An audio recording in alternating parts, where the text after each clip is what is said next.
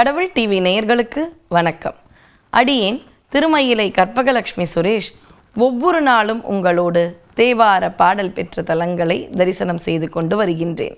இன்று நாம் தரிசனம் செய்ய இருப்பது காவிரி தென்கரை தலங்களுள் தொண்ணூற்றி இரண்டாவது தலம். மொத்த எண்ணிக்கையில் நூற்றி ஐம்பத்தி ஐந்தாவது தலம்.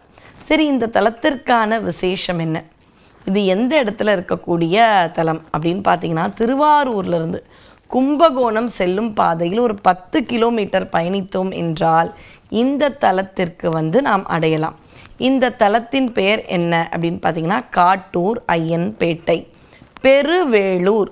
வேளூர் அப்படின்ற பேரே நமக்கு முருகப்பெருமானை தானே நினைவிற்கு கொண்டு வரும். இந்த தலத்து இறைவனுக்கு பெயர் பிரியநாதரம். அபிமுக்தீஸ்வரர் அம்பிகைக்கு அபிநம்பிகைன்னு பேர். இந்த இடத்துல முருகனாலேயே அதுவும் தன்னுடைய வேலால் உருவாக்கப்பட்ட ஒரு தீர்த்தம் இருக்கு அதற்கு சரவண தீர்த்தம் என்று பெயர். சூரபத்மனோடு அந்த சம்ஹாரத்திற்கு முன்பு சிக்கலில் வேல் வாங்கி செந்தூரில் சம்ஹாரம்னு சொல்லுவாங்க இங்கிருந்து சிக்கல் ரொம்ப அருகாமை. அப்படி வேல் வாங்கிய முருகப்பெருமான் சில இடங்களுக்கு சென்று வேலின் ஆற்றலை இறைவனையும் இறைவியையும் வணங்கி பெருக்கிக் கொள்கிறார்.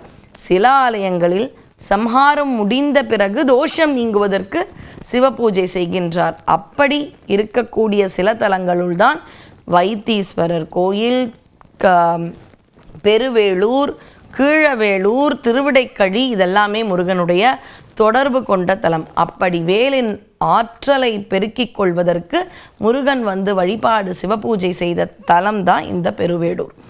அது மட்டுமல்ல இந்த ஆலயத்தில் வந்து ரொம்ப முன்னாடி போனோம் ஒரு ஃப்ளாஷ்பேக்னா தேவ அசுரர்கள் சேர்ந்து பார்க்கடலை கடைந்து அமுதத்தை கொண்டு வந்தார்கள்.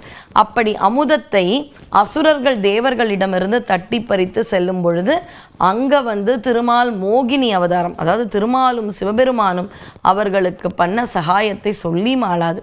சிவனே வந்து அங்கே இருக்கக்கூடிய ஆலகால விஷத்தை அருந்தி நீலகண்டனாரார் இங்கே திருமால் அவர் கூர்மாவதாரம் கொண்டு அந்த மலையை தாங்கினார்.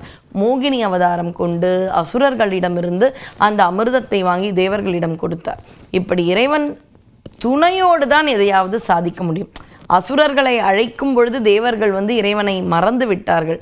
ஆனால் அப்படி ஒரு அமுதத்திற்கான கடையல் ரெண்டு பேரும் பண்ணும் பொழுது வரக்கூடிய பிரச்சனைகளுக்கு அவர்கள் எங்கே போவது என்று தெரியவில்லை. அப்பொழுது இறைவனை தான் நாடினார்கள். அப்படிதான் சிவனும் திருமாலும் சேர்ந்து துணை புரிந்தார்கள். இப்போ நம்ம கூட பார்த்தீங்கன்னா ஆரம்பிக்கும் பொழுது மறந்துடுவோம் கடவுளை. ஆனால் பிரச்சனைன்னு வரும்பொழுது பார்த்தீங்கன்னா கடவுளேன் அழைப்போம். கடவுள் என்ன சில சொந்த பந்தங்கள் மாதிரி நீ முன்னாடி கூப்பிடல இப்போ வரமாட்டேன்னு சொல்கிறவரா இல்லையே. அம்மா மாதிரி எப்போ கூப்பிட்டாலும் வரக்கூடியவர்.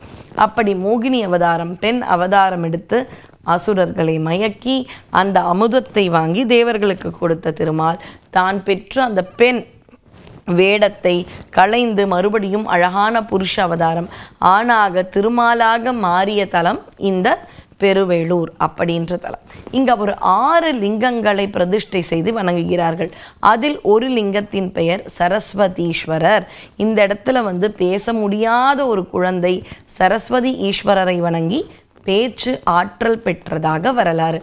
அதனால் பேச்சு ஆற்றல் வேண்டுமா? சில குழந்தைகளுக்கு பார்த்தீங்கன்னா ரொம்பவே வருத்தம் தரக்கூடிய இந்த ஆட்டிசம் மாதிரியான குறைபாடுகள். அதில் பல ஆட்டிசம் வந்து குணப்படுத்தக்கூடியது என்று மருத்துவர்கள் சொல்கிறாங்க ஒரு பக்கம் மருத்துவம் இருந்தாலும் இன்னொரு பக்கம் மெய்ஞானம் அப்படின்ற ஆன்மீகம் நமக்கு என்றுமே துணை இருக்கும். அதனால் இங்கு வந்து சரஸ்வதி ஈஸ்வரரை வணங்கினால் குழந்தைகளுக்கு பேச்சு ஆற்றல் வளரும். கோச்செங்கோட் சோழன் அவன் கட்டிய அற்புதமான மாடக் கோயில்களுள் இந்த ஆலயமும் ஒன்று என்பது இன்னொரு செய்தி. அப்படிப்பட்ட பெருமை மிகுந்த இந்த ஆலயத்தில் முருகப்பெருமான் வழிபாடு செய்து இறைவனின் அருளை பெற்றிருக்கின்றார். கௌதம முனிவர் வணங்கி இறைவன் அருளை பெற்றிருக்கின்றார். திருமாலுக்கும் இறைவன் அனுக்கிரகம் செய்திருக்கின்றார். இப்படிப்பட்ட மேலான வரங்களை அளிக்கக்கூடிய எம்பெருமான் நமக்கு லௌகீக உலகியல் அருளையும் தருவார்.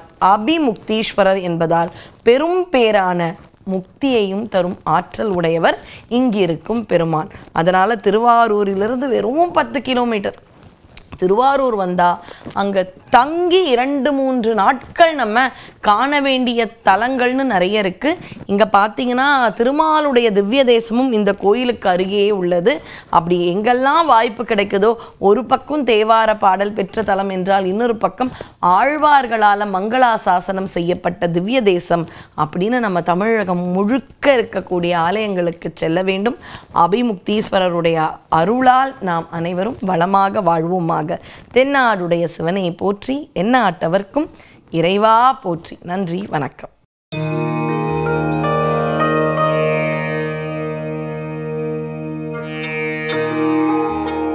தேங்க்ஸ் ஃபார் வாட்சிங் கடவுள் டிவி இது போன்ற ஆன்மீக வீடியோக்களை தொடர்ந்து பார்க்க கடவுள் டிவி யூடியூப் சேனலை சப்ஸ்கிரைப் பண்ணுங்க. நோட்டிபிகேஷன்களுக்கு பெல் ஐக்கான பிரஸ் பண்ணுங்க.